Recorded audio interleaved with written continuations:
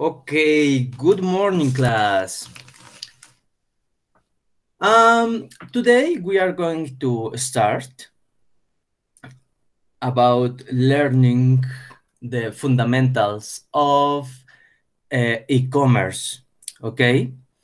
So, I prepare a presentation for that.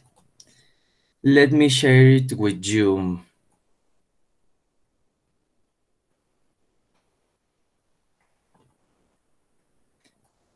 Can you see can you see my screen? Yes. Yes. Cool. Okay, topic one, e-commerce fundamentals.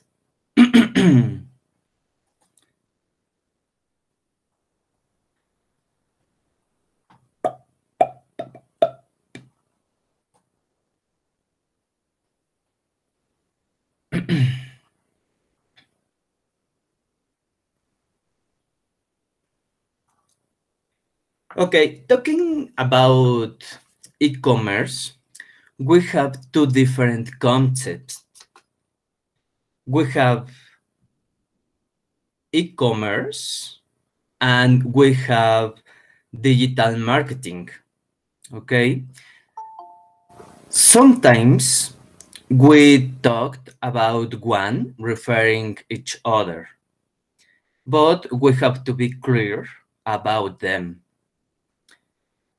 By this way, e-commerce means about to sell products or services through internet using data network. And digital, uh, digital marketing means about to get some clients through internet, but at different concepts. Okay, do not forget it. Just remember that e-commerce is about to sell and uh, digital marketing is about to get clients or customers.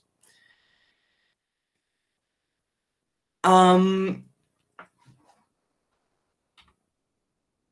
in Spanish, uh, comercio electrónico y marketing, digital son dos conceptos que normalmente se, se confunden. A veces hablamos de uno y nos referimos al otro, pero es importante que ustedes sepan la diferencia. Comercio electrónico se refiere a la venta de productos o servicios a través de Internet usando redes de datos. ¿Va? Mientras que el marketing digital eh, se enfoca a captar eh, u obtener clientes a través de Internet. Son dos conceptos diferentes. Usamos cosas eh, o elementos distintos en cada uno de ellas.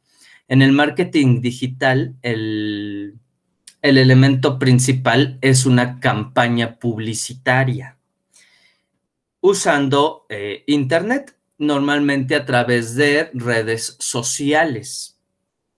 Mientras que eh, en el comercio electrónico se, usa ya todo un proceso de ventas.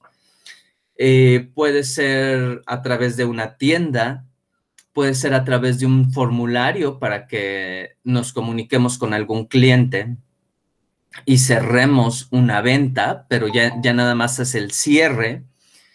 Eh, y bueno, a continuación vamos a seguir viendo más elementos acerca del comercio electrónico. Por ahí de 2015 teníamos las siguientes cifras de comercio electrónico en eh, algunos de los países de la Unión Europea. Por ejemplo, en Europa, en general en Europa, teníamos por ahí eh, cerca de 179 millones de compradores eh, a través de Internet, solo en Europa. En Estados Unidos, durante esos mismos años, eh, oscilaba alrededor de 181 millones, la diferencia en realidad no era, no era tanta. Mientras que en Canadá teníamos 18 millones, ahí ya hay una diferencia eh, comparable entre Estados Unidos y Canadá. No, no, en realidad no hay como comparación, ¿no? Tener 18 eh, millones en Canadá contra 181 en Estados Unidos, pues sí es, es importante. Eh, en España, el flujo de, de, compradores era de 15 millones. En Italia, de 12. Polonia teníamos 20. En Suecia teníamos 7 millones. Por ahí 41 millones en Alemania, 8 millones en Países Bajos, 34 millones en Francia y 42 millones de compradores en Gran Bretaña. Si nos fijamos en estas cifras, la mayor parte de los compradores pues estaba repartido, de, la mayoría de los compradores de Europa estaba repartido entre Gran Bretaña, Francia y Alemania, juntando entre ellos ciento, casi 120 millones de 179. Ahora, en estos mismos países, eh, a la fecha en la que se hizo este estudio fue durante 2015. Entonces, las fechas que, eh, las cifras que les muestro a continuación corresponden a los años de 2014, 2015 y 2016 ya es una proyección. Entonces, por cada país se ve que eh, todo estaba proyectado en aumentos lo cual efectivamente sucedió. Eh, y nuevamente se siguen manteniendo los principales em, compradores en Reino Unido o Gran Bretaña o Inglaterra, como sea que conozcan al país, en Alemania y en Francia. ¿Va? Y los gastos que se hacían de, ventas en, al por menor, es decir, en ventas eh, minoristas, eh, en, Gran Bretaña eran de 53.2 millones eh, durante 2014 e incrementaba a 71 millones de euros para 2016 mientras que en países un poquito más, más pequeños como España, eh, incrementaba de 8.1 millones a 11.4 millones. Canadá estaba oscilando entre de, de 15 millones a 19 millones para 2016. Entonces, como pueden observar, todas las cifras pues iban, iban teniendo incrementos importantes por ahí pronosticados de más o menos el 15%. Ahora, si revisamos el gasto medio anual por cada comprador, podemos observar que en Gran Bretaña y en Estados Unidos estos gastos eran más altos, oscilando eh, en Gran Bretaña de los 1.267 euros a los 1.389 euros eh, para 2015. En Estados Unidos variaba de los 1.234 euros a los 1.325 para 2015. En realidad, pues la diferencia no era, no era tanta entre estos dos países. En Polonia es en donde menos se, se consumía, por ahí era, la, diferencia era más o menos de, mil euros comparado contra los, los grandes países.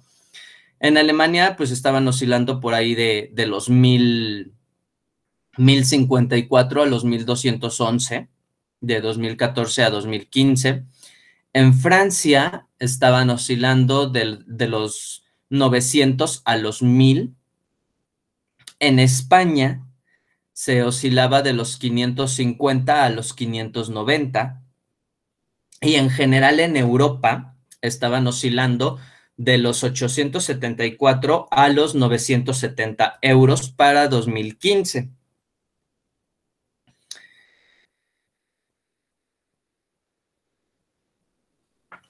La transacción media estimada, es decir, la compra, el, costo de la compra por en promedio, eh, estimada para 2015, en países como Estados Unidos, era de 84 euros, ¿va?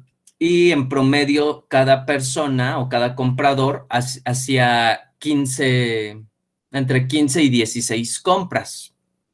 Mientras que en Francia el, promedio de, cada pedido, de cada compra, era de 60 euros, casi 60 euros, y se hacían más o menos 16.9 eh, casi 17 compras por comprador. En España eh, se hablaba de 50 euros por transacción y se hacían alrededor de 11 o 12 compras al año por cada comprador. En países como Gran Bretaña, que habíamos visto que era uno de los más grandes, la, compra era de 65 euros y se hacían alrededor de 21 compras. Entonces el, crecimiento era, era tremendo, ¿no? Y aquí se puede, en, esta eh, lámina, se puede observar cómo era la evolución de las ventas en tiendas físicas contra las ventas en línea y se observa como en, Alemania es en donde había una mayor diferencia, donde la evolución de las ventas entre de, 2014 a 2015 estaba disminuyendo de forma física, pero de, eh, de forma en línea había un incremento del 20%, poco más del 20%, mientras que en Estados Unidos eh, la evolución de las, eh, se seguía comprando o se sigue comprando en tiendas físicas, su disminución fue del menos 1.9% contra eh, un crecimiento de ventas en línea del 13.8%.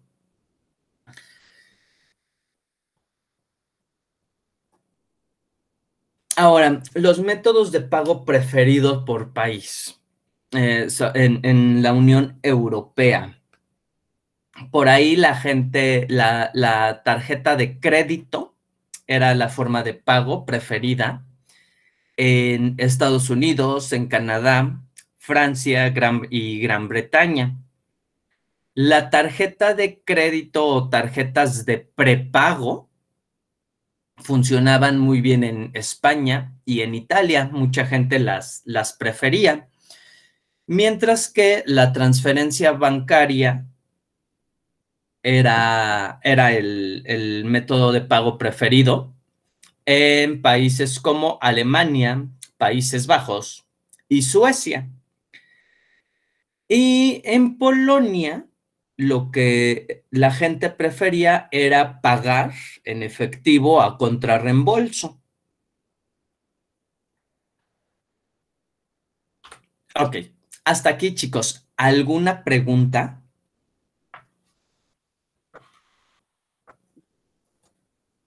No, pero bien.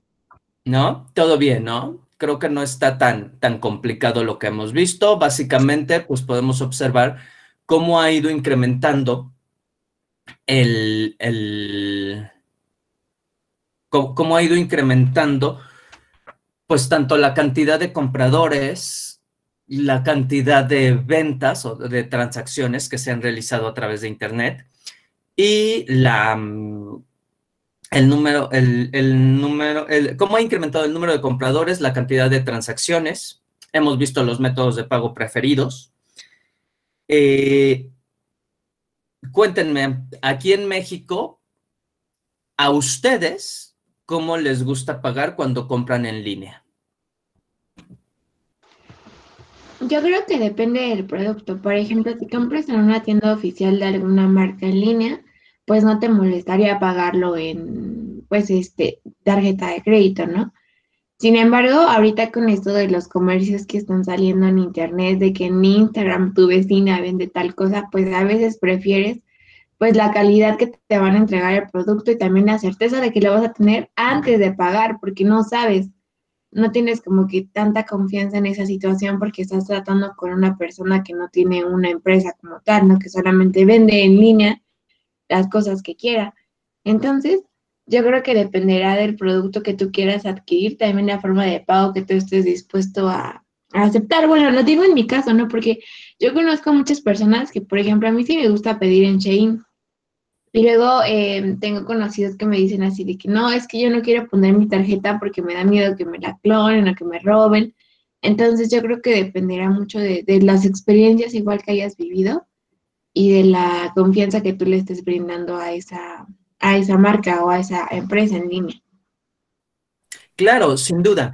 Ahora, hay que observar eh, el fenómeno del crecimiento que se ha dado en Internet eh, para transacciones en línea, eh, sobre todo en, estos últimos meses, que como ustedes comentan, ha surgido esta forma de, venta directa al, al cliente a través de Facebook, en donde, pues, de forma eh, rápida, pienso, se ha dado este comercio informal.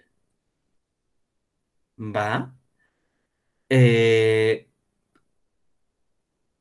finalmente es un, comercio informal el que se hace a través de Facebook con los grupos, con, cuestiones como las que planteas, Jimena. Eh, vamos, es, es, en realidad como el equivalente a salir y comprar en el puesto de la esquina que está establecido, pues como con una lonita y ahí lo ponen y lo quitan a diario.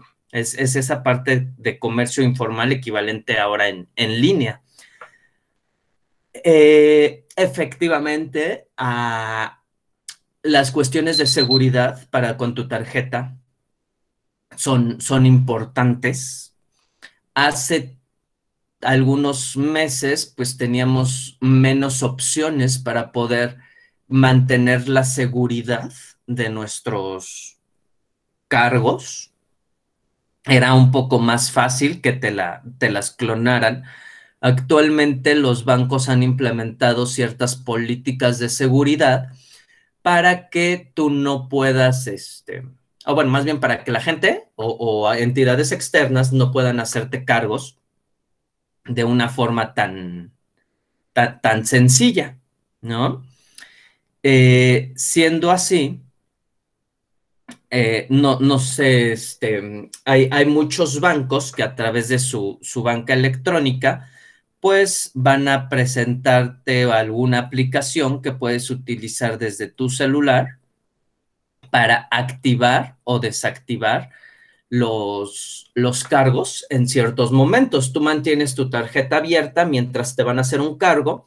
Eh, de forma contraria, tú lo, eh, mantienes tu tarjeta cerrada y no pasa ninguna transacción que se quiera realizar. Eh, yo, por ejemplo, en, lo personal, tengo mis tarjetas con HSBC. HSBC me, me, provee una aplicación que me permite abrir y cerrar las tarjetas. Más aún, también en, esta, en la configuración de esta aplicación, si yo quiero realizar alguna transacción, me detecta ubicaciones geográficas. Y si mi celular no está geográficamente en el mismo punto en donde se realiza o desde donde se solicita hacer la transacción, la transacción es bloqueada. ¿va? Entonces, eh, no sé, si yo estoy en Tizayuca y quieren hacerme un cargo desde Monterrey, el cargo se rechaza.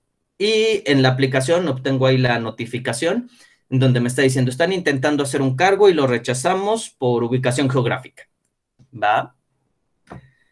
Em, antes, tú podías eh, hacer un pago prácticamente desde cualquier página.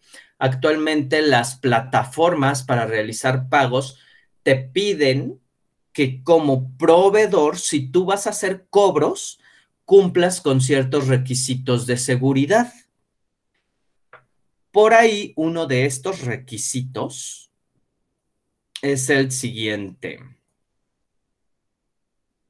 Cuando nosotros vamos a una página web, por ejemplo, a, Sosa del Bosque, grupo Sosa del Bosque. internamente hay ciertas cuestiones de seguridad que se toman en un sitio web. Por ejemplo, el protocolo. Tú te puedes ir a una, a, este protocolo es seguro. Ah, ah, ah. A ver, déjenme ver un protocolo inseguro, UPMH, UP Metropolitana. Listo, este. Cuando tú entras a tu navegador, tú puedes saber si un sitio es seguro o no es seguro. En la parte de tu URL, por ejemplo, aquí te dice que no es seguro. Si le das clic para ver la, la URL de un sitio no seguro, tú vas a tener algo como http dos puntos diagonal diagonal www metropolitana y, y, y, todo lo demás de tu URL. Entonces, eh, aquí es eh, el HTTP significa eh, Internet Protocol Transfer Protocol, que es protocolo de transferencia de Internet, pero este no es un sitio seguro. En este sitio, como es solo HTTP, no podría realizar o implementar un sistema de pagos porque no es un sitio seguro. Es fácil que un ciberladrón pueda eh, ver quiénes están estableciendo conexión hacia, hacia UP Metropolitana y tomar los datos que se están enviando, que yo, yo como cliente puedo estar enviando a UP Metropolitana. Entre estos datos, el número de tarjeta, la vigencia y el código de seguridad, que son los tres datos principales que se necesitan para que me puedan hacer un cargo. En cambio, por ejemplo, aquí en, Grupo Sosa del, Bosque, si ustedes se dan cuenta, eh, el, el, mismo navegador me dice que el, sitio es seguro, te aparece con un candadito, dependiendo del navegador, a veces te aparece un candadito verde o te aparece la barrita en verde cuando es seguro y en rojo cuando no es seguro. En este caso, eh, si nosotros nos vemos la URL, tiene HTTPS. La S significa security. Indica que este es un sitio web seguro. Entonces tiene ciertos eh, mecanismos para que se verifique que yo como cliente estoy comunicándome directamente con con el sitio web, estoy haciendo una verificación de identidad del sitio web y que los datos que se, que se están transfiriendo no son visibles para, para alguien más. ¿va? Se, crea una especie de escudo. Eh, y bueno, actualmente si tú quieres tener un sitio eh, para realizar pagos, tu sitio debe ser HTTPS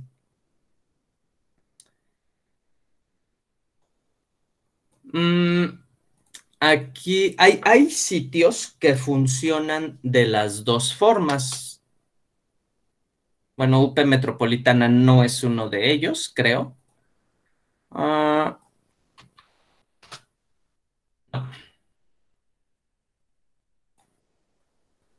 Profe, cuando son aplicaciones móviles, ¿cómo podemos saber su seguridad? Ok cuando tú tienes una aplicación móvil, ah, ah, ah, cuando tú tienes una aplicación móvil, internamente eh, se conecta a Internet a bases de datos eh, grandes, en donde está almacenada toda la información que, que se va a mostrar. Esta conexión puede ser de distintas formas, utilizando distintos protocolos, pero en mucho, en la mayoría de los casos también se, se utiliza un protocolo HTTP o HTTPS. ¿Va? Entonces, en realidad, tú como, como usuario de la aplicación, eh, vas a, saberlo si es que descargas la aplicación de tiendas oficiales, ¿va? Eh, cuando tú descargas una aplicación desde el Play, eh, el, Play Store o desde iStore, tú tienes la certeza de que esa aplicación ya fue verificada y que no se está robando ni datos extra de tu celular y que también las conexiones las está estableciendo a partir de protocolos seguros. Eh, en este caso, pues tanto Google como Apple se encargan de hacer todo este tipo de revisiones y de validaciones.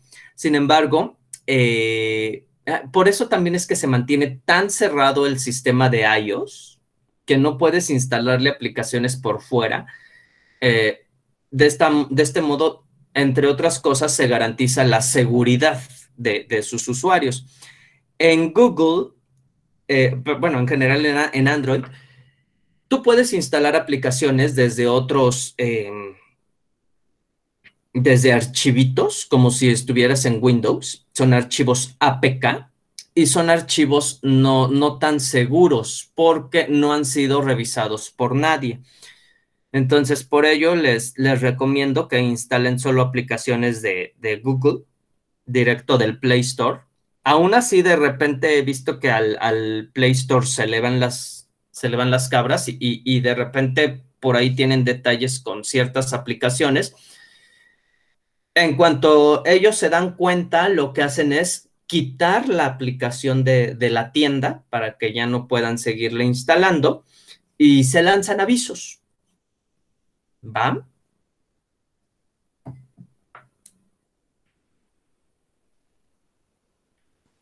¿Dudas? ¿Más dudas? Profe, por ejemplo, ve que hay Ajá, ajá. Ve que hay sitios como de, peli de películas en internet que la puedes ver según gratis y todo eso. Ve que, o sea, a veces cuando intentas ver una película o así, como que te abre muchísimas páginas. ¿Esas páginas no son seguras tampoco?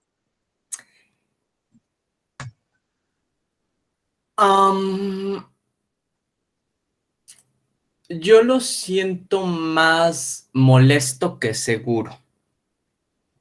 es la publicidad de la página, Muchas veces.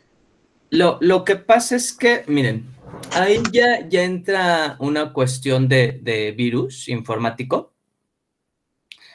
Entonces, a veces, cuando ustedes eh, jalan algún virus, no viene directo en la página, sino que viene insertado en en los archivos que descarga su navegador para visualizar una página. ¿A alguien de ustedes se le ha infectado su máquina con algún virus recientemente? A mí me pasaba cuando descargaba música, por ejemplo, para Play eh, Music Store. No sé, cuando no existía eh, Spotify o, o que no podías descargar en YouTube, para descargar música estaba como que te arriesgas, ¿no? claro. o te contagias. Ajá.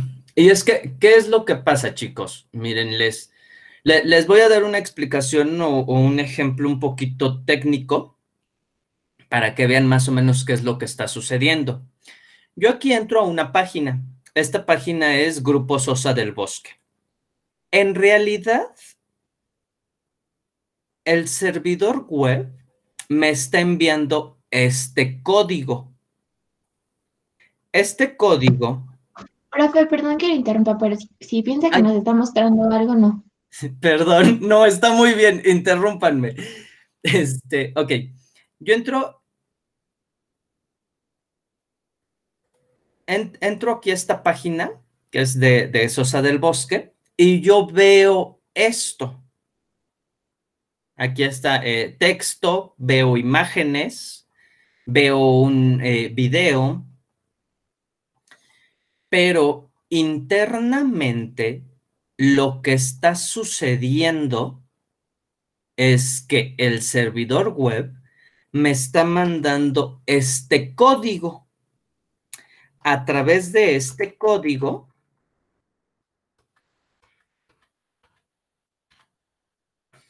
a través de este código, yo observo la página web de, la forma visual, en la, eh, de, esta forma visual.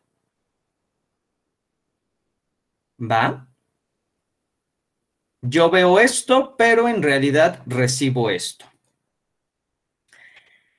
Aquí, por ejemplo, para mostrar esta imagen, esta es una imagen, una fotografía, digamos, como, como está almacenada en un servidor, tal y como ustedes almacenan sus archivos. Y con un código como este,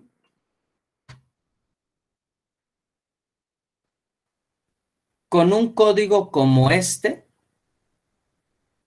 yo estoy cargando la imagen.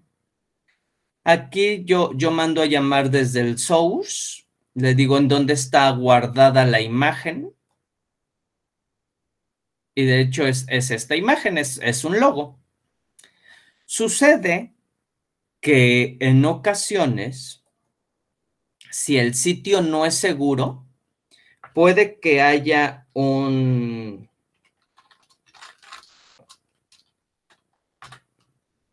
puede que haya eh, alguna, algún delincuente cibernético que en lugar de mostrar, que, que interrumpa este, este dominio y en lugar de mostrarme la imagen del logo de Sosa del Bosque, me, me inserte su logo, es decir, me esté cambiando el, el archivo y ese archivo, esta imagen, sea la que contiene el virus. Como este archivo, para que yo lo visualice en mi, en mi compu, así como ahorita, se tiene que descargar a mi computadora o a, o a mi celular o al dispositivo desde el cual yo acceso. Teniendo ya el archivo, yo lo estoy abriendo para visualizarlo a través del navegador web. Cuando yo lo abro, mi máquina se infecta ¿va? Entonces, puede que en esta infección se instale algún programa sencillo que tome ciertos datos de mi compu o que abra o, que haga que la pantalla encienda y apague, que haga que el mouse se desconecte, que haga que trate de leerse el CD o, el DVD, la, unidad de CD o DVD, eh, en fin, pueden, pueden hacer, suceder varias cosas, ¿va? Eso es lo que sucede en casos de, de, virus como tal. Cuando ustedes abren una página, eh, efectivamente, a veces una página te abre 10.000 más. Muchas veces son con fines de publicidad excesiva que, en lugar de hacer que el cliente esté satisfecho y se interese por un producto, hacen que, quede frustrado y, que odie la página. Este. Y en otras ocasiones, sobre todo con páginas que reciben mucho tráfico, como era antes páginas de descargas como, como Mega Upload, Ares, LimeWire, eh, o, o, paginitas así, pues lo, que hacen es insertarte virus para poder robar cierta información. E, esto también sucede mucho con sitios eh, pornográficos, en donde a veces se roban tu información o bien te ofrecen servicios ilegales, ¿va? Sí, sí, sí, eso sí, eso sí. Entonces, este, pues eso es lo que pasa, chicos. ¿Algún otro comentario? Es, cierto que en, las Mac es como súper difícil o casi nunca pasa de que tengan virus. Es cierto. ¿Qué es lo que pasa? No es que no existan, pueden existir un hacker o, cualquier persona que, que se dedica a programación, puede crear un virus para cualquier máquina. Lo que sucede es que si yo creo un programa en general, eh, un virus es un programa, ¿va? Si yo creo un programa que va a robar datos, pues yo como, como mm, programador, como, como yo, yo interesado en robarme datos, yo me voy a ir por el mercado más grande. La mayoría de la gente tiene sistemas operativos Windows va en general. Entonces, pues si el mercado está en Windows, pues ¿para qué creo algo para Mac? Si, si no sé, si, si tengo la posibilidad de robarme datos de 10 personas en, en Windows y en Mac tengo la posibilidad de robarme los datos de una sola persona, pues me voy a ir hacia donde hay más posibilidades, ¿no?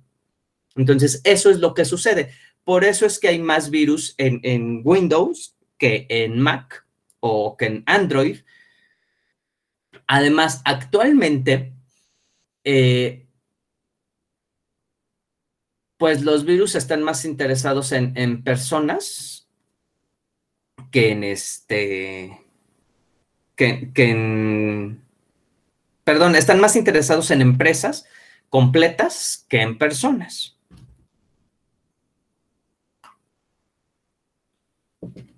¿Alguna otra pregunta, chicos?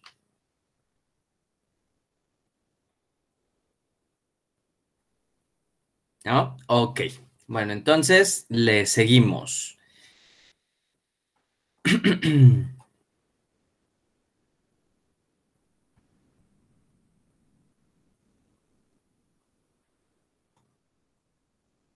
Ok, aunque el, el, negocio va creciendo de una forma desmedida,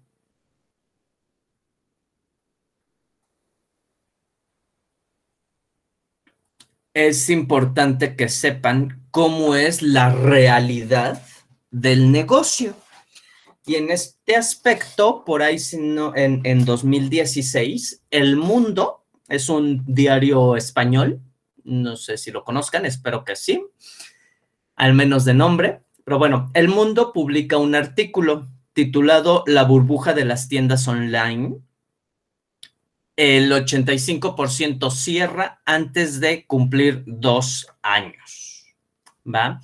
Y por aquí les, les puse el link. Es, es un artículo interesante en donde pues se, se plantean ciertas ideas a través del, autor, ¿va? Entonces nos plantea desde que las, las e-commerce están de moda, lo cual es, es un hecho, pero no todas sobreviven, ¿va? El 85% se van a perder, ¿va? En este caso el 85% de los que tienen una inversión inferior,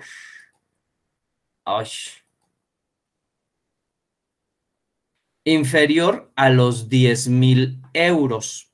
¿Saben en cuánto está el euro actualmente? No. No, pero, déjenme. Entonces, convertir a ver, espere. Hoy está 25.21 pesos mexicanos.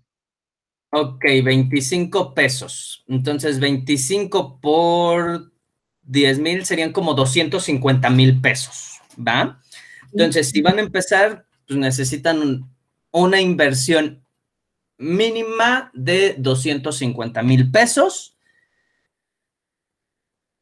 para medio mantenerse. ¿Va? aún esta inversión de los 10 mil euros no garantiza que sobrevivan más de 10 años, eh, perdón, más de dos años. Eh, ahora, para que se puedan mantener, pues tienen que hacer un, como con todo, un negocio rentable. ¿Va? El, el ratio medio de conversión es del 1%. Esto significa que por cada 100 visitas logran una venta. esto también depende del producto, de las marcas, etcétera, que ustedes manejen. Y suena lógico. Quienes tienen una tienda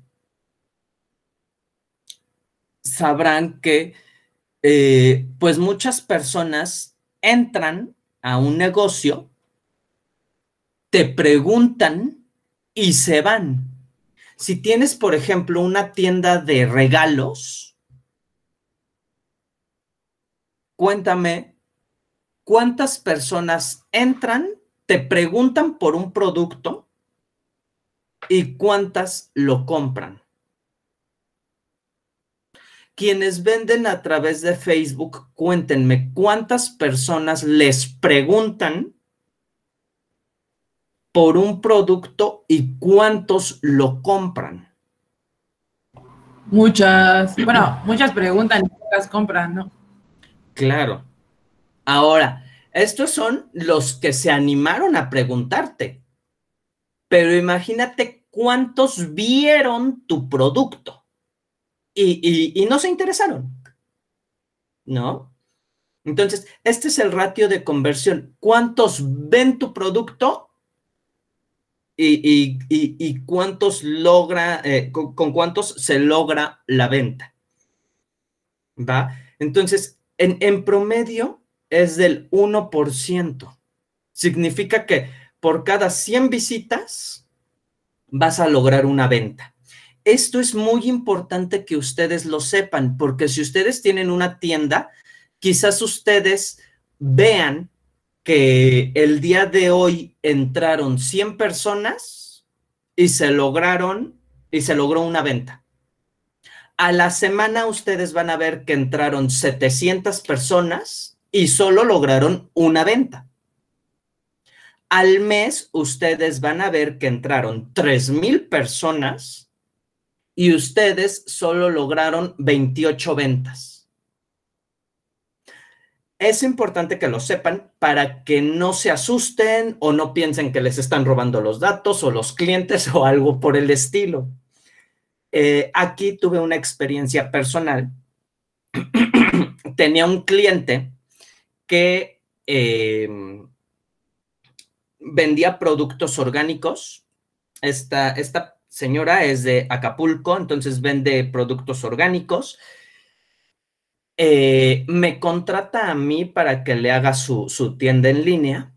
Ella ya tenía su producto, vendía en físico, no le iba mal. Al implementar su tienda en línea, eh, pues ella empieza a ver las estadísticas de visitantes. Entonces me dice, oye, es que este, me hiciste la tienda mal porque seguro mi competencia se está robando a mis clientes, este, varias cositas así. Me dice, es que estoy viendo y a la semana están entrando 1500 personas y solo hice una venta. Entonces es así de, sí, espérame tantito, este, están entrando, entrando 1500 personas. ¿Sabes cuántas personas necesitas para lograr una venta? Cuántos accesos. Este, la verdad es que 1500 accesos en una semana es muy poco. Es nada comparado contra las transacciones que se hacen eh, a través de Internet. Entonces, este es un dato que deben tener ustedes. No se los digo para que se desanimen en caso de que quieran poner una tienda, pero sí para que sean conscientes y puedan planear mejor su negocio. ¿Ok? Profe, y también había visto que, bueno, recuerdo haber leído, no me acuerdo si fue en el, el cuatro en la materia de mercadotecnia, que igual ah, ahorita era más, era para el consumidor más importante o el consumidor más bien ya estaba aún más interesado en poder comparar este mercados para ver pues en qué lugar le salía mejor, a buen precio, con buena calidad y todo. Entonces, si de por sí antes era un poco difícil esa situación de que pues sí muchas eh, entran al sitio y ven, ahora es un poco más porque pues sí, ok, ven el sitio, pero también se van a otros a investigar pues qué también les ofrece, el precio, o sea, comparan ya absolutamente todo porque el, consumidor pues ahora sí ya está más interesado en, en que pues digámoslo de alguna manera ya es más conocedor también del tema del servicio o del producto que quiera adquirir y que pues ya no es tan fácil que, ah, sí veo este, solamente esta página, yo que ya tengo consciente que pues ahí cuesta 30 pesos y pues que a lo mejor en ese momento no compra, pero pues más adelante sí regresa y ahorita pues si va a comprar algo ya está muy enfocado en, en, una variedad de lugares, no sé, tal vez Mercado Libre, Amazon, Facebook, y que, y que pues sí, ¿no? Ahora más más complicado también. Claro, y, es lógico, Monse, partiendo de que eso hacemos hasta yendo al tianguis. ¿Va? Cuando, bueno, no sé si ustedes vayan al tianguis o iban al tianguis, eh, pero por ejemplo, las mamás, ¿no? Nuestras mamás siempre nos, nos llevaban al tianguis y recorrías primero todo el tianguis y, las mamás checando los precios, ¿no? Y de regreso, pues ya pasabas comprando en donde veías pues más barato o más bonito. Vamos, eh, eh, ya cada mamá evaluaba de acuerdo a sus posibilidades.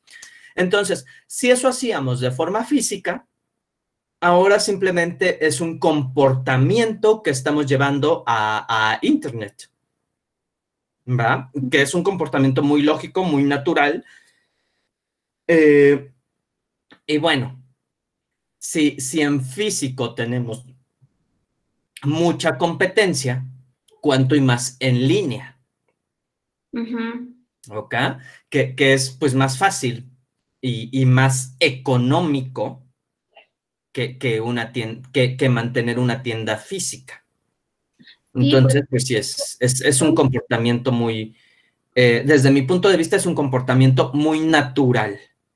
Solo estamos cambiando de plataforma.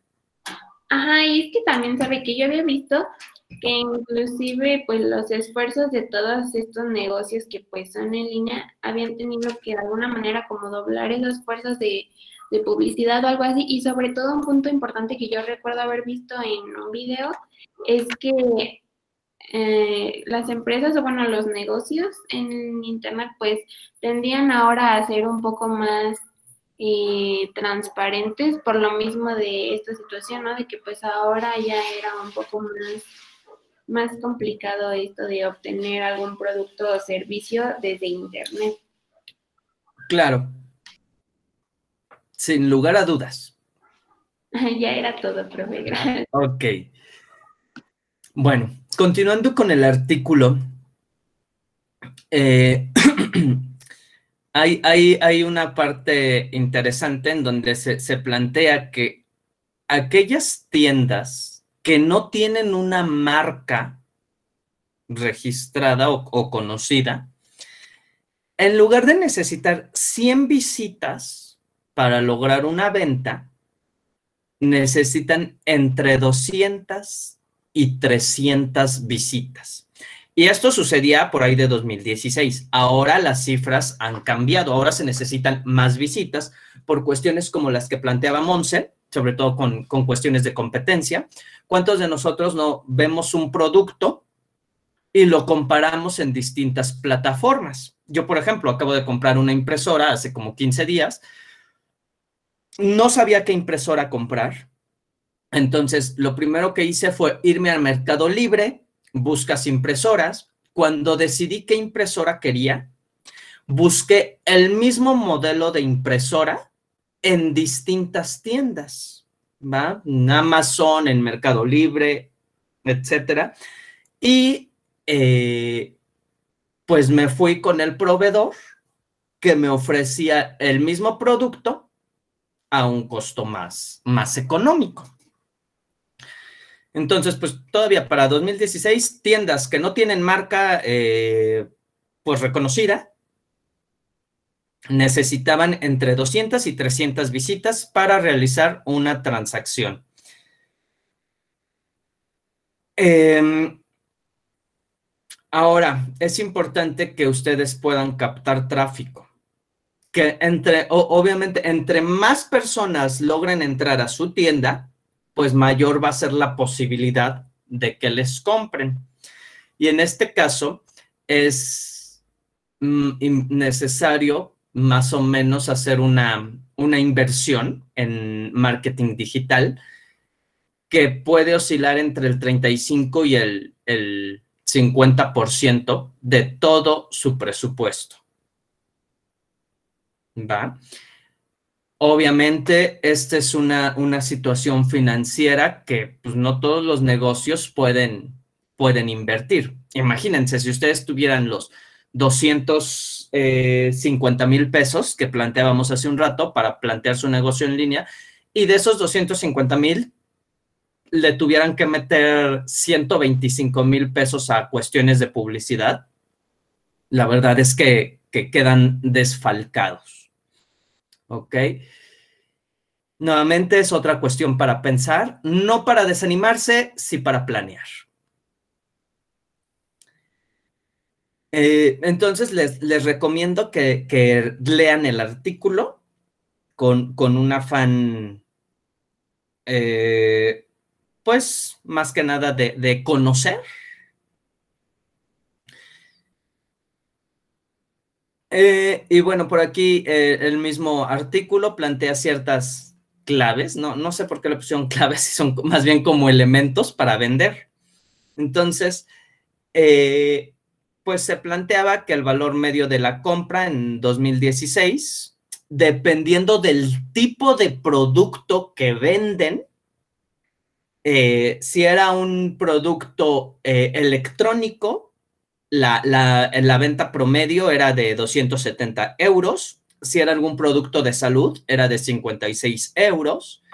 En cuestiones de servicios, el promedio era de 103 euros. Cuestiones de moda, 75 euros. Y productos infantiles, 58 euros. El ratio de conversión, que recuerden, el ratio de conversión es el, eh, la cantidad de personas que tienen que entrar para que yo pueda lograr una venta. Eh, oscilaba entre el 35 y entre el punto 35% y punto 5 50%. ¿Ok?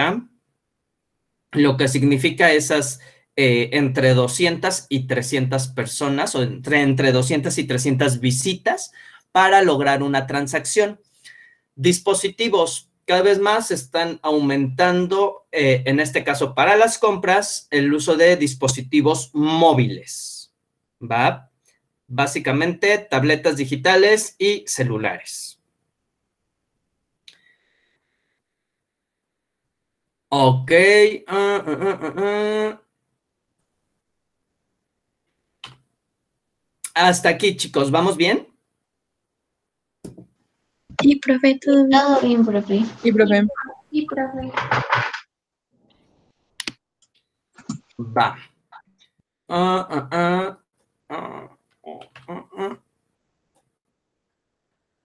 Se estoy presentando. Ok.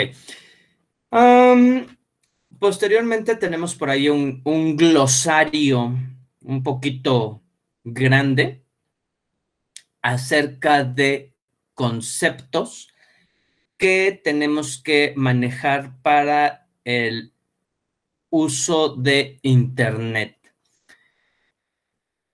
Ah, van a dar las nueve. Mm, mm, mm.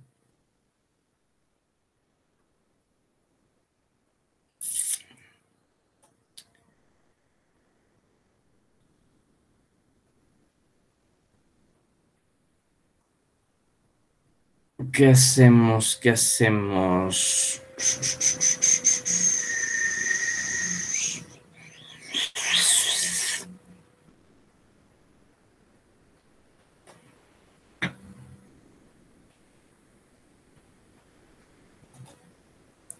Mm, mm, mm. Muy bien. Antes, antes de revisar el glosario, para, para salir un poquito del tema y que se, se ventile la mente, vamos a eh, Coffee break. Coffee break, coffee hablar break. un poquito acerca de Word- WordPress. ¿Ok? Eh, ya que es la plataforma sobre la cual vamos a implementar nuestra tienda electrónica, pero antes de eso me gustaría saber si ya tienen sus equipos de trabajo armados. Sí. Ya, Y pro, ella. Ok, entonces, a ver, denme un segundo. Mm, mm, mm. Personas. Hoy.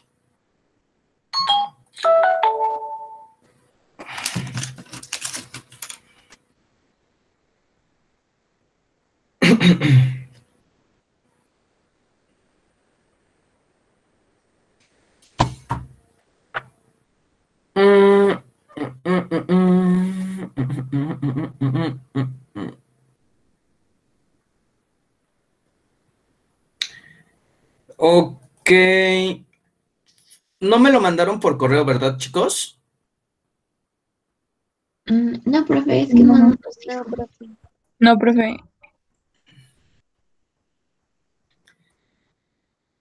Ok. Ah, ah, ah.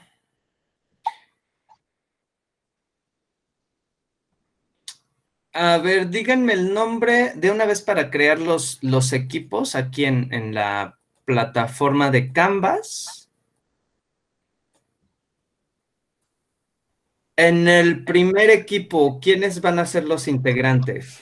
¿Quiere que se lo diga por de orden del lista. Este, no, no necesariamente por orden de lista, solo cuéntenme de los nombres y yo aquí los voy anotando. Ok, si quieres, dilo tú primero, Jimena, y ya después nosotros. Ah, ok. Jimena Arrieta Zúñiga. Ahí salgo, es la cuarta. Ok, Jimena, Eh, Montserrat Morales Alba. Sí. ok, JD Cosette. No, con J, profe. Con. J, profe. Es J-A-Y-D-Y. JD Cosette. ¿Tu apellido de dónde es? Mi apellido, Ibarra Zavala. Es que Cosette es mi segundo nombre. Ok, ¿y qué significa? Significa pueblo victorioso. ¿De, de dónde viene? Ah, yo bien metiche, ¿no? Es, fran- es francés, profe. ok. Y por- Interesante. Ajá. Por último es Aníbal Paredes Martínez. Aníbal. Ok. Tengo cuatro integrantes, me falta al menos uno, quizás dos. Ay, es que no, no, Es que como somos nuevas en el grupo, pues no tenemos. Ok. Si no, ahorita los que sobren van a entrarle a los equipos que, que no tengan integrantes, ¿de acuerdo? Ok. Ok. Siguiente Ok. equipo. Ok, entonces es pues yo, Baños Hernández. Ángel Moroni. Ajá. Luego va Bertadillo Santa María. Montserrat.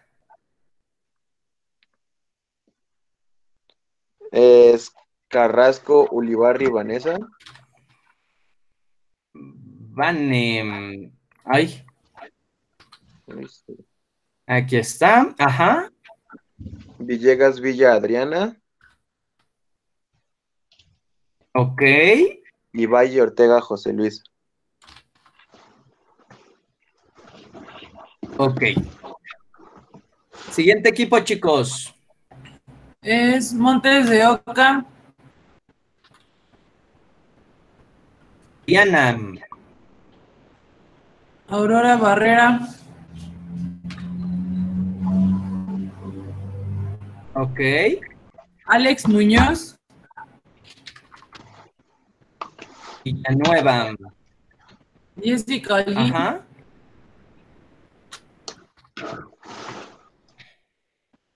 Con Con J. J, ¿verdad? Sí. Aimem. ¿Por qué? ¿Por qué quise escribir Jessica con J? Dios, ya estoy durmiendo todavía. Alberto. Santiago. Ajá. Ok. Y Juanjo. Juan José Medina Méndez, creo es. Ok. Listo. Siguiente equipo, chicos. Ali Ugalde.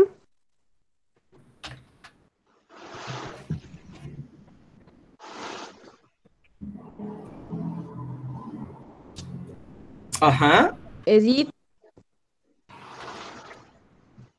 García Lara. Ajá. Ujú. Eh, Jos.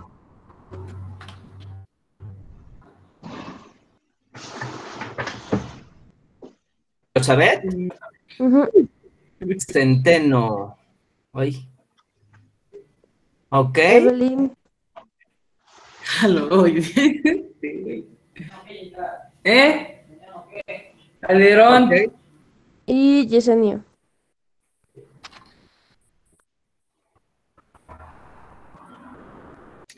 Ok.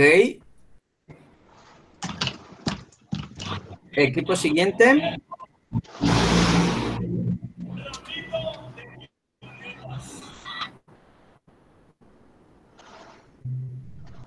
¿Ya no hay equipo siguiente? No. Sí. Sí. Zuli, Perdón, ¿me repites? Zuli. Con el que me parece que Ok, Zuli Rodríguez. Laura. Ajá. Giselle.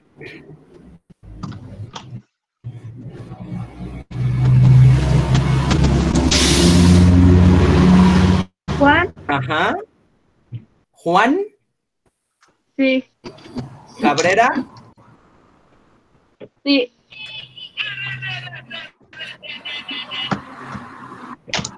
Ok. Said.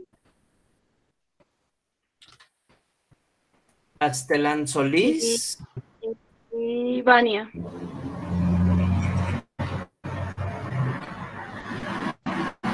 Vania. Ok. Muy bien. Chicos, ¿quiénes están sin equipo? Profe, tengo una pregunta. Dos. ¿Los equipos son los mi equipo. mismos ¿Sí? con los que teníamos que trabajar de las otras materias? Del pago- No, en realidad son equipos libres. Ah, ok, gracias. ¿Va? Si ustedes quieren trabajar con los mismos de otras materias, yo no tengo ningún problema. Le dicto el nombre de mi equipo, profesor. Ya no me caben. Habíamos quedado que iban a ser cinco, cinco equipos, ¿correcto? Ay, ¿Cuántos integrantes tienes en tu equipo? somos tres. No, necesito al menos cinco. ¿Tienes cinco integrantes? No, somos tres. ¿Tienes otros dos integrantes? No, No sé si a alguien, a alguien le falte, no tenga equipo más bien. Ok, si no, quienes están sin equipos, comuníquense entre ustedes y al final de la clase me comentan, ¿de acuerdo? Sí. Este, ok. Ah, ah, ah, para decir, cuando, cuando me digan presente en su sesión, solo es con que digan, con que escriban presente es más que suficiente. Automáticamente le- les detecto el nombre de la, desde la, aplicación, ¿va? No, es necesario que me escriban presente y su nombre. Oiga, profe, ahorita que, ahorita que estamos hablando algo de lo anterior de, ah, de lo de los pagos, le iba a preguntar, ¿y PayPal qué, qué papel tiene entonces? Porque pues es muy común también usar PayPal. Ay, PayPal es la gloria para los clientes. Bueno, la verdad es que a mí como cliente me gusta mucho PayPal. Eh, lo que hace PayPal es únicamente realizar cobros, ¿va? Tú puedes tener tu página, eh, vender a través de ella y le dices a PayPal que él cobre por ti, ¿va? Lo que va a hacer PayPal, PayPal, como se dedica a hacer puros pagos, tiene mucha experiencia, yo creo que es como de los pioneros en, en sistemas de pagos. Eh, tiene muy buena infraestructura. Entonces, lo que hace PayPal es ofrecerle a tu cliente distintas formas de pago. Pueden ser a través de tarjeta de crédito, de débito, American Express, eh, que bueno, es crédito, pero siempre se clasifica de forma distinta. Eh, incluso puedes pagar, si vas a pagar por PayPal, puedes eh, pagar a través de una, este, de una transferencia electrónica o de un pago en un OXXO o en un 7-Eleven o, o- o tiendas de conveniencia. Eh, y bueno, es eso, ¿no? Únicamente PayPal lo que hace es cobrar. ¿Cuáles son las ventajas? Hace un rato yo les mencionaba, les hablaba acerca de ciertas restricciones que tú debes cumplir para que como tienda en línea puedas realizar cobros. Si tú cobras a través de PayPal, tú automáticamente eliminas todos estos requisitos. Puede ser un sitio inseguro y tu tienda funciona y puedes realizar cobros a través de PayPal. PayPal, tú lo que vas a hacer es poner una especie de link en tu página, que puede ser un botoncito que diga pagar ahora. Ese, el, usuario al hacer clic en ese botoncito, lo que va a hacer es irse al sitio de PayPal y pagar desde ahí. Y PayPal es el que ya se encarga de mantener todas estas cuestiones de seguridad. Está súper interesante. Bueno, a mí en lo personal me gusta mucho PayPal porque es muy sencillo de implementar en tu tienda y también, eh, pues para los clientes, creo que es, es, es fácil, ¿va? Además de este modo, tú como tienda solo sabes si el cliente ya te pagó o no, pero en ningún momento conoces los datos eh, del cobro, es, es decir, no conoces la tarjeta con la que te pagó o el medio con el que te pagó. Eso es importante porque si a tu cliente le clonan su tarjeta, pues tú ni siquiera tuviste acceso a sus datos. ¿Va? Situaciones de devoluciones. Si tú haces devoluciones, tú puedes, tú, obtienes un, un- como un ID de rastreo eh, de la transacción de PayPal. Entonces, a través de ese ID, tú puedes retransferir el, el dinero que el cliente te pagó. Y ya PayPal es el que se encarga de mandárselo a su tarjeta de crédito, reembolsarle o, o llegar a algún acuerdo con el cliente para ver cómo va a recibir ese dinero. Tú te, te quitas de este tipo de, de situaciones. ¿Va? Entonces, ese es el papel que juega PayPal, solo para cobros. Y la ¿Y verdad es cuánto que le cobra de comisión a las empresas, profe? este, en este momento no sé cuánto estén cobrando. Es un tema que vamos a revisar, sin duda. Eh, me parece, no recuerdo si en la unidad 2 es una situación que ustedes tienen que implementar también en su tienda en línea. Eh, no, les digo, no recuerdo exactamente cuánto cobra PayPal. Ahorita el, último sitio que implementé, al que le implementé un sistema de pagos fue con Clip, el- el- los que son de color anaranjadito. En Clip te están cobrando una comisión del 3.5% de tu venta. Profe, ¿y Mercado Pago también es como un PayPal o algo así?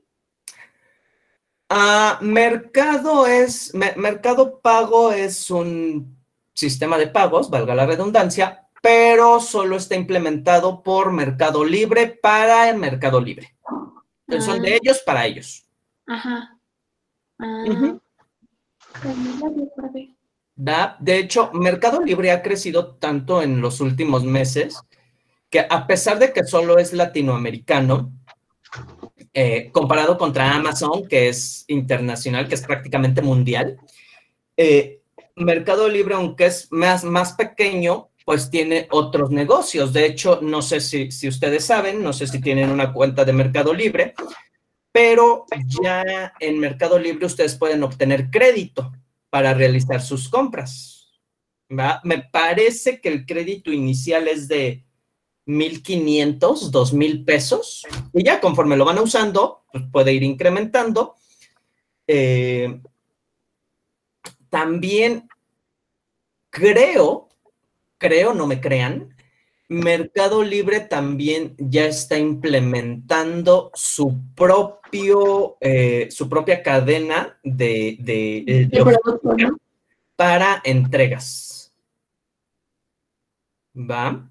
Eh, eh, antes Mercado Libre usaba FedEx o, o esta FedEx. DHL. DHL. Este, y ahora les digo, si no mal recuerdo, creo- de hecho creo que la impresora me llegó ya a través de, de este sistema logístico de, de, de Mercado Libre directo. Porque ya ni siquiera me mandaron eh, eh, líneas de rastreo. ¿Cómo, cómo se llaman? Este. Bueno, sí. Código para rastrear. Código de rastreo, Ajá, ajá. de seguimiento, ¿no? El, el código de seguimiento, ajá. Va, entonces, este, pues digamos que, que a pesar de que es más pequeña que Amazon, pues ha implementado otras, otras cuestiones. Em, ok, ¿alguna otra pregunta, chicos? Profe, cuando tiene un negocio en línea, por ejemplo, de estos que están pues en Instagram por lo del COVID y así, el subir fotos nada más de los productos es una desventaja. O sea, de que subas nada más, por ejemplo, si vendes, no sé, pasteles, pasteles, pasteles, pasteles, pasteles, y obviamente pues ya saben que vende pasteles, pero pues tienes que ofrecerle algo más que las fotos de tus productos. No sé si, si me expliqué muy bien. Por ejemplo, um, yo hablo de agregar otras cosas extra, por ejemplo, no sé, información extra. Ok, tienes dos tipos de, de, de entrada, tienes dos tipos de anuncios. Anuncios se llaman de pago y anuncios orgánicos. Los anuncios orgánicos no tratan de vender nada, tratan de informar a tu cliente. Y en estrategias de marketing son importantes porque vas creando fidelidad para con tus clientes. ¿De acuerdo? Entonces, eh, tomando esto como base, está un poco relacionado con tu pregunta.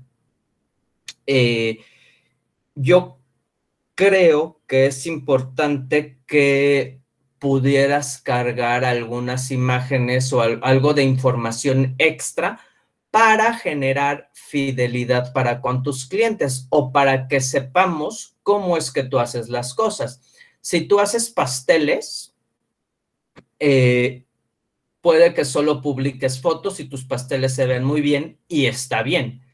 Pero si alguien llega y me dice, mira, yo tengo estos pasteles y, y por ahí en una ficha descriptiva sencilla, llamativa, me dice, y te los puedo hacer de, y no sé, ahí te ponen este, no sé, lo- los, los tradicionales, ¿no? Tres leches, durazno, nuez, fresa. Te los puedo hacer además de chocolate ferrero. Entonces, si yo veo el mismo pastel, pero además yo sé que tú me lo puedes hacer de ferrero, pues este, Me va a gustar. eh, vas a, a- a generar tráfico hacia tu, hacia, hacia, hacia tu tienda, hacia tu producto, Sí, profe, gracias. ¿va? Entonces, es importante que cuando ustedes hacen campañas, no saturen a su cliente, pero tampoco lo dejen en el olvido, ¿va? Es, eh, definitivamente ustedes en una tienda se tienen que dar a conocer, pero ah, no es lo mismo que, que ustedes se den solo a conocer a que saturen a su cliente. Yo, por ejemplo, no, no sé ustedes, pero yo como cliente, si estoy viendo videos en Facebook o en YouTube y a medio video me insertan publicidad, la verdad es que eh, termino odiando el producto que me están tratando de ofrecer y, y, pues te vas generando una, desde mi perspectiva, te vas generando una mala imagen. ¿Va? No sé cuál sea, cuál sea la experiencia o la sensación que a ustedes les produce. Sí, es muy molesto, profe. Aparte, no- yo no. Lo vemos. Ay, tú, perdón, Jimé. No, perdón, amiga, tú continúa, yo yo digo. Es que, bueno, yo no sé cuántas personas de las que vean los anuncios en los videos y compren las cosas, porque yo siento que solamente los quitas y ya, o sea, no es como que digas, ay, qué interesante, a ver, voy a verlo. Como que no. Este, es que hay distintos tipos de cobro. Ahorita en el glosario vamos a ver distintos, algunos conceptos de, de costos. Entonces, tú puedes pagar por que tu anuncio sea mostrado. Esto no da la garantía de que lo vean, ¿va? Eh, y los costos son bajos. Tú puedes pagar por cada clic que dan sobre tu anuncio. Tú puedes pagar por cada acción realizada en, un anuncio que tú muestras. Son tres costos diferentes. Obviamente el costo de mostrar un anuncio es mucho más barato que el costo por clientes que realizan una acción.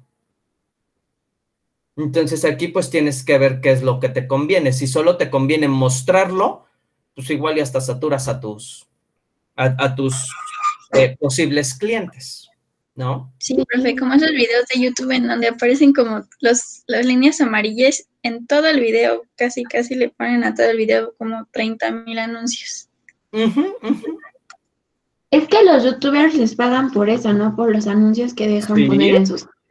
Sí, porque yo he visto, yo he visto algunos youtubers que sigo que dicen así como, muchas gracias a todos los que ven los anuncios publicitarios que les dejo, a los que ven todo el anuncio, a los que no los quitan, porque eso hace que me den más dinero a mí y así, ¿no? Entonces yo creo que ahí está lo que usted estaba comentando hace rato, ¿no? Que les pagan dependiendo de las reacciones de su público, ¿no? A lo mejor si cinco de 100 que vieron, no, no sé de cuántos, de 20, descargan la aplicación que promocionan, a lo mejor para ellos, para los que lo están poniendo en su canal, les va mejor, ¿no? Claro, y ese tipo de comercio electrónico se llama servicio de afiliados. También es un modelo de comercio electrónico. ¿No creen que los youtubers hacen las cosas porque están bien tontos o porque, este, o por mero, o, o por amor al arte, ¿no? O sea, finalmente, pues sí, les dan una lana, ¿no? Ay, perdón, les dan dinero, les pagan por sus servicios. ¿No? Ok. Profe, disculpe que lo interrumpa, Dime, Vane. pero este va a haber cambios en un equipo. No, Vane, ya están hechos los equipos. Es que em, se nos hace más fácil. Ya vi su cara, ¿eh? Ya lo vi. Estaba durmiendo. Ok, dime, Vane. Ah, este, ¿le doy los nombres? Ajá. A ver, usted me dice. Ah, Vane, ¿en qué equipo estabas? ¿No te acuerdas? En el de, en el segundo equipo que le dieron, el de Ángel y en el de Monse. Ok. Tenemos a Ángel Moroni, Valle Ortega, Montserrat Bertadillo, a Carrasco y a Adriana. Ah, me saldría de ese equipo. ¿Y a dónde te metes, Vane? Con Samantha. Pero a Samantha ni siquiera la tengo en un equipo. No, pero es que ya, ya seríamos el los equipo que le habían dicho.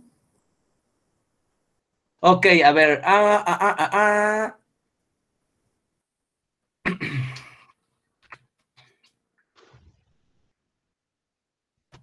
Que 6 a 6.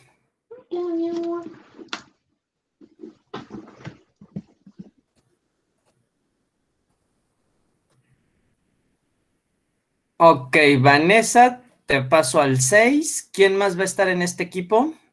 Va a estar Samantha Guerrero, Guerrero Guevara, ajá. Cristian Martínez, Martínez Melo, si no mal recuerdo. ajá, Ajá, ajá. Beatriz Pérez Recendis,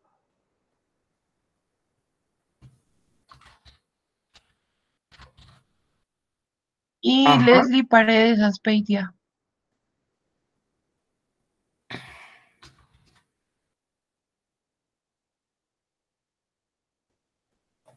Ok.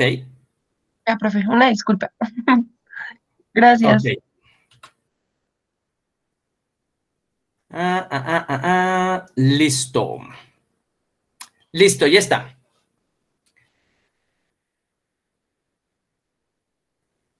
Ok, ¿tienen algún otro comentario, chicos? ¿Alguna duda que deseen externar? No, profe, creo que no. Gracias. Yo una, pero así rápido, rápido. A ver, dime, Juan. Este, por ejemplo, los que ponen sus anuncios y no los pueden quitar, ¿ellos pagan más? Sí. Ah, ya, era rápido. Le dije, gracias. Sí, en realidad se, se paga más. De hecho, en los juegos, si ustedes tienen juegos en su teléfono instalados, eh, por ahí van a poder ver que quizás algunos anuncios los puedes saltar a los 5 segundos y otros anuncios los puedes saltar a los 25 o 30 segundos. Entonces, obviamente, quien po- por un anuncio que te obligan a ver 30 segundos, pagan más que por un anuncio que te obligan a ver 5 segundos. ¿Da? Esto también ya depende de la compañía que esté llevando tu eh, publicidad.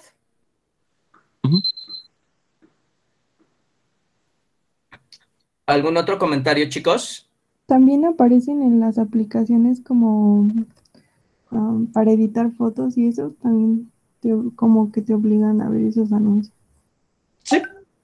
Sí, en general en, en las aplicaciones Android, que no son como muy específicas, bueno, que no son, que son como gratuitas, pues suelen, suelen hacer eso, ¿no? O incluso hay algunas que te dicen, ¿sabes qué? Tengo mi versión libre y mi versión de paga. Entonces, en la versión libre te muestro anuncios y con esos anuncios que ellos muestran, pues lo que les pagan, se, crea el costo de la aplicación. o si quieres que no te muestre anuncios, este, pues aquí está mi versión pagada, ¿no? Finalmente las empresas ganan porque si no ganan porque tú les pagues por la aplicación sin anuncios, ellos ganan por lo que cobran mostrándote anuncios. ¿De acuerdo?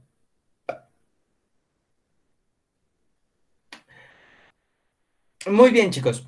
Este, son 9.30. Vamos a darnos un descanso y vamos a tomarnos... Hasta las 11. No te pases, Juan. No, porque los conceptos que tenemos que revisar son muchos.